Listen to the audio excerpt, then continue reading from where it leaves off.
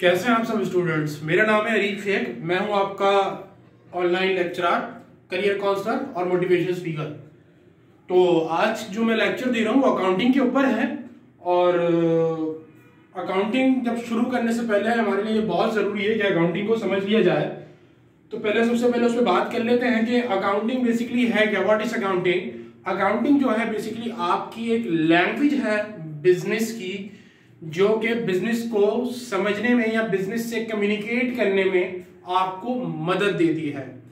अमूमन बच्चे, जो अकाउंटिंग की डेफिनेशन है, वो वो डेफिनेशन बताते हैं जो कि फाइनेंशियल अकाउंटिंग की है, जो कि A I C P A American Institute of Certified Public Accountant ने दी हुई है, उसको डिफाइन करते हैं। वो डेफिनेशन फाइनेंशियल अकाउंटिंग की है, जो कि अकाउंटिंग की एक ब्रांच है, ठीक है? तो बेसिकली हमारे पास अकाउंटिंग की डेफिनेशन यही है कि accounting is the language of business और हमारे पास अकाउंटिंग की मेजर थ्री टाइप्स हैं, जिनमें financial accounting cost accounting and management accounting ठीक है? अगर आप लोग मुझे बोलेंगे मैं इस पर बात करूँ तो मैं इस पर भी बात कर लूँगा। आप मुझे कमेंट में बता सकते हैं कि इस पर वीडियो बना ली है तो मैं उस टॉपिक पर भी वीडियो बना लूँगा। इसके अलावा कोई भी अगर आपको मुझसे पूछना हो तो आप मुझसे फेसबुक पर कांटेक्ट कर सकते हैं अरीफ शेख लिखेंगे तो मैं आपको मिल जाऊँगा।